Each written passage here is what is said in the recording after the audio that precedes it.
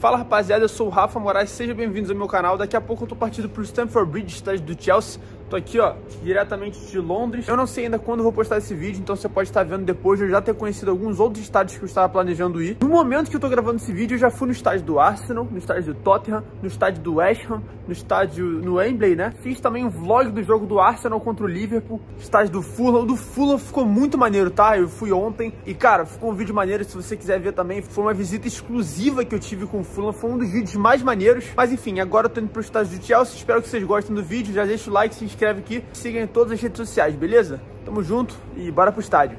Bom, estamos chegando, estamos chegando. Opa, toma. Ali, ó.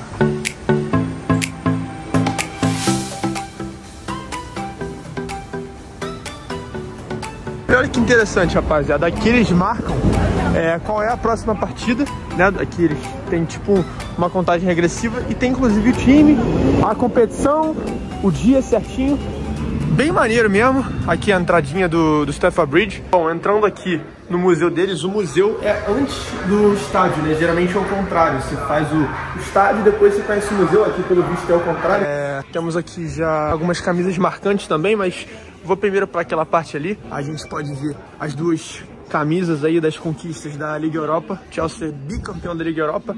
A primeira vez foi ali contra o Benfica, na, no ano de 2013. E o segundo título foi justamente contra seu rival Arsenal, né?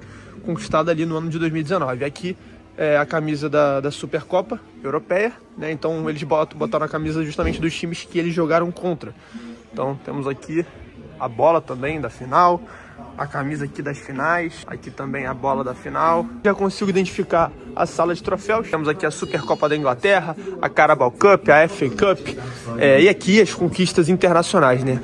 As duas taças da Champions League, as duas taças da Liga Europa, aqui algumas taças da Premier League. E a última vez que o Chelsea conquistou a Premier League foi na temporada 2016-2017. É muito detalhe, muito detalhe. Realmente a taça, essa aqui para mim é a taça mais bonita de um campeonato nacional. A gente vai entrar numa sala aqui onde tem várias camisas de diversos é, anos, né? Camisas antigas do Chelsea, camisas mais recentes. Eu acho as cores das camisas do Chelsea muito bonitas, esse azul forte, né? Agora vamos conhecer a parte interior do estádio.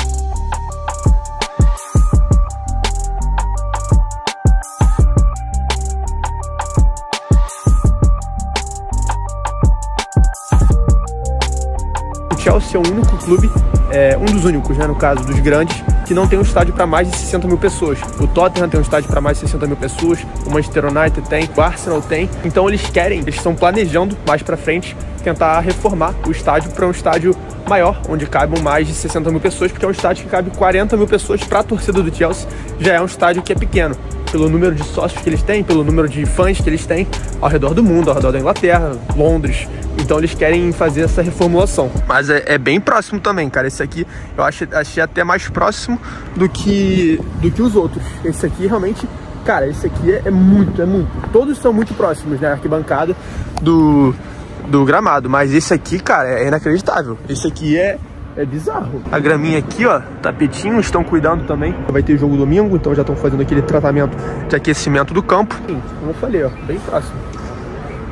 Aqui é a sala de imprensa, né, onde tem as coletivas depois do jogo. E é nessa parte aqui onde os jornalistas podem sentar, né, e fazer sua análise do jogo, para depois fazer alguma pergunta para algum jogador ou treinador que fica naquela mesa ali. Aqui os jornalistas fazem a mídiazinha deles, né, puxam a cadeira aqui, tem toda a estrutura para você poder conectar, trabalhar aqui tranquilo, pá, fica fazendo as paradinhas aqui e enquanto acompanha a, a entrevista né, aqui na sala de imprensa. Eu não achei tão grande quanto os outros, quanto as outras salas que eu fui, mas é uma sala boa, né, com uma estrutura básica para você se ter.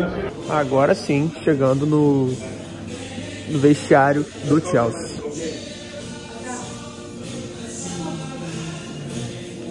Chelsea,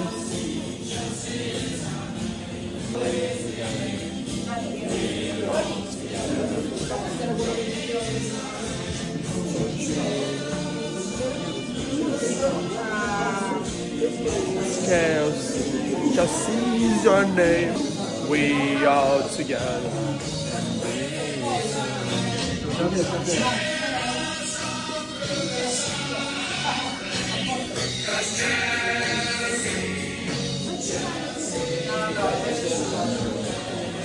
Bom, agora eu consegui mostrar aqui o vestiário vazio, né, sem muita gente para vocês e nessa parte aqui onde tem essa TV, tem algumas fotos de alguns jogadores, né, que conquistaram títulos importantes. Justamente nesse mesmo vestiário, por exemplo, essa foto aí do Drogba foi justamente nessa parte onde eu tô apontando aqui para vocês. Aqui temos o Hazard também, alguns jogadores históricos que jogaram por aqui.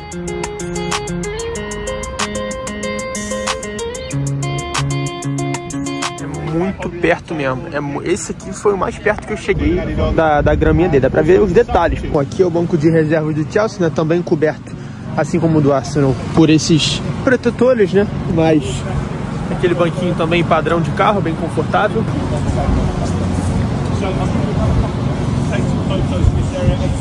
Aqui onde fica a imprensa, né? Coloca-se os computadores aqui e trabalham por aqui. Também bem próximo ali do campo, a gente pode ver, né? A chance da bola acertar o computador é brincadeira, né? Aqui, um, um, um chutezinho no zagueiro, filho, esquece. Outra coisa interessante do Chelsea é que eles são dos únicos times que jogam aqui no Stamford Bridge desde o início. A gente viu aí o Manchester City mudar de estádio, o Arsenal mudar de estádio, o Tottenham mudar de estádio. Eles não, eles jogam aqui desde sempre. O estádio é muito antigo, eles jogam aqui há muito tempo. Vou mostrar aqui, ó, essa aqui já é o setor visitante. Também bem próximo aqui da, do escanteio, por exemplo. E agora vamos conhecer a parte de cima de outro ângulo.